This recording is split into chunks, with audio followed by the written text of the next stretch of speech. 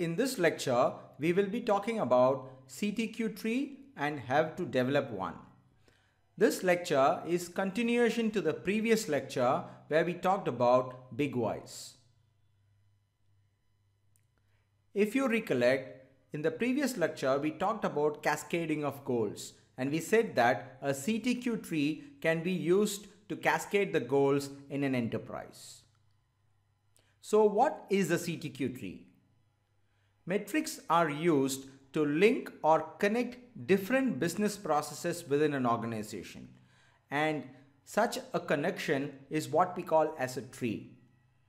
The tree has a structure which is formed by joining the big Ys to the process Ys and then the process Ys to the process X's.